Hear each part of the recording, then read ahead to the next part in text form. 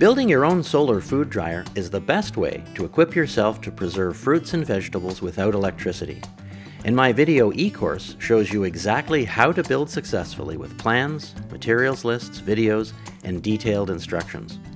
Equipping yourself to quickly and safely dry garden produce and fruits is one of the smartest ways to increase self-reliance and improve your diet.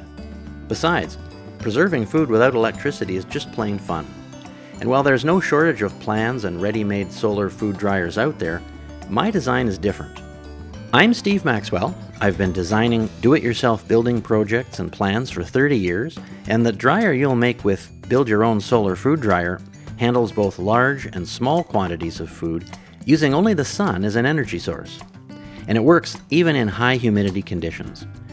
The Build Your Own Solar Food Dryer video e-course includes five online video tutorials that explain how to build the dryer properly, detailed printable plans that show all aspects of construction, advice for choosing specific materials for making a safe, long-lasting dryer, instructions for operating your solar food dryer properly.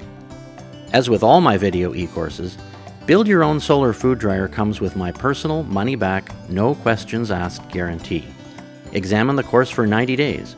If you don't think it delivers way more value than the price, I'll happily send you a full refund and you can keep the e-course for free.